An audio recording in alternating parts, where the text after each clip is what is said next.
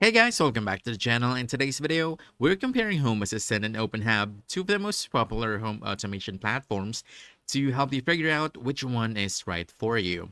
So let's dive in. First up, we have OpenHab. OpenHab or Open Home Automation Bus is a Java-based platform that can run on almost anything from PCs to Raspberry Pi. It supports hundreds of integrations through add-ons and is praised for its long-term stability and offline-first operation. So if you want a robust, reliable system and don't mind a bit of complexity, OpenHAB is ideal. The downside, setup and rule creation can be tricky, so beginners might find the learning curve steep. Now, let's talk Home Assistant. Home Assistant is a Python based with a modern interface and a fast growing community.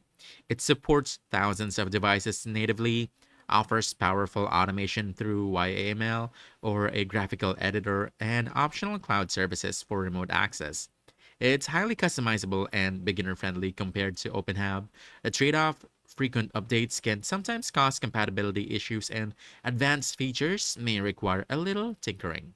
Side by side, I want to say OpenHAB emphasizes stability and longevity, great for a set it and forget it approach.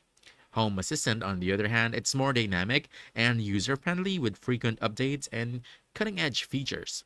So, for the verdict, you want to choose OpenHab if you value stability, long term reliability, and don't mind learning the ropes.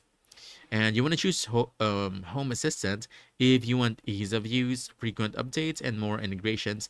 Perfect for tinkerers who like to stay on the cutting edge. So that's it. If you found this helpful, don't forget to hit the like button, subscribe for more quick guides, and I'll see you in the next one. Thanks!